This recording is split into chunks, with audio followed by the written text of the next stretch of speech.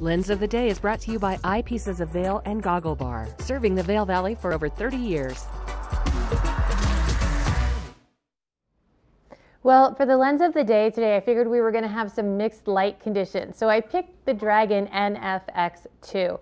Um, now, a couple things that I really like about this goggle is it has a slightly smaller uh, shape, so it's going to fit more face sizes, which is pretty cool. But the other thing that I really like about this goggle is it has a Luma lens. Now, the Luma lens technology um, is going to optimize your color, your contrast, um, and it's also going to let the lens darken a little bit whenever you go into brighter light or lighten if you go into a darker area.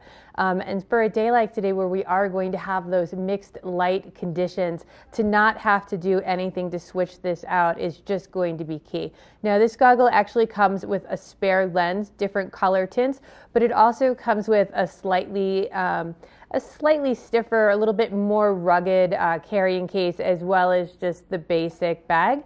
Um, so it just lets you travel with it a little bit more easily. If you want to check it out, go check them out at Eyepieces of Vail. They definitely have a lens for everyone. They have locations in Vail, Lions Head, Beaver Creek, Edwards, and new this year in Snowmass.